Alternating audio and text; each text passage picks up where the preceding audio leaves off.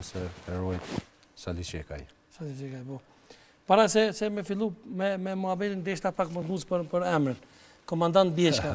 Pse të mbet kjo, ke po thu me luftu gjithmonë në, në rëhia, çka, qysh të mbet?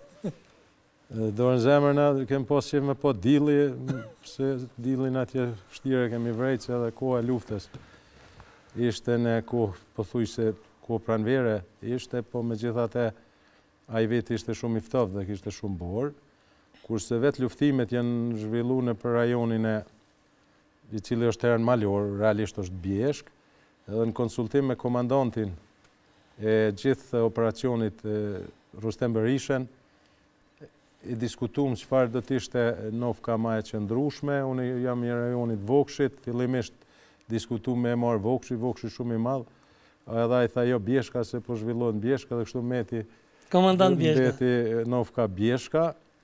Edhe deri në fund të luftës meti kjo nofka edhe sot e kësaj dite bashkëluftarët më thrrasin. E ju keni pas nofka aty, Xhokeri u kon Rrustem Berisha? Po, Xhokeri u kon Rrustem Berisha sepse ai ishte, domethënë, Ky kryesori, komandanti kryesor i operacionit Koshare, edhe ju ndërlidhke pak se ai do t'duhej të koordinonte që me të gjithë dhe me gjitha drejtimet e luftimit. Edhe ai ishte një lloj xhokeri për gjithë zhvillimet. Jo Veterani Sali Çeku. Veterani ishte po Sali Çeku jo për për shkak të moshës, edhe pse kishte një moshë. Në atë kohë ishte diku 40 e diçka vjeçar, Dyzet e dy vjeçar, nuk ishte ndonjë moshë ku e di sa të shtyme, po veterani ishte në kuptimin e veprimtarisë s'tij, sepse shumë herët kishte fillu përgaditjet, mm. organizimet, që të vijë deri te edhe lufta për liri, sepse Saliu ka qenë një njeri vizionar i madh, një njeri që vërtet ka ditë çka don edhe që i thotë populli ka pa edhe përtej bjeshkës, ka pa lirinë, që shumë na t'tjerë ndoshta edhe s'e kem besu, se ajo mund edhe të arrihet një ditë.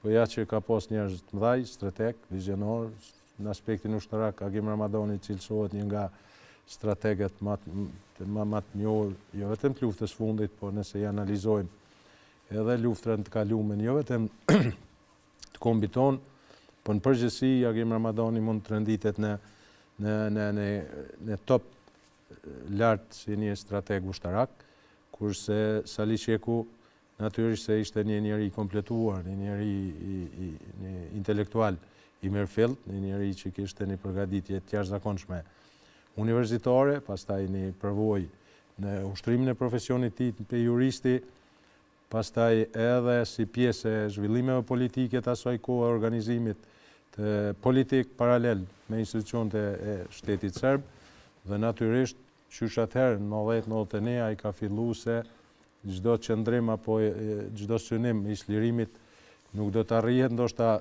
vetëm me me paqë, biseda dhe me sepse armiku që i kishim ne përballë E u bindem dhe jemi të bindur dhe sot e kësaj dite edhe përherë kem qenë t'bindun se nuk e njeh bash masmiri vetëm që dialogun.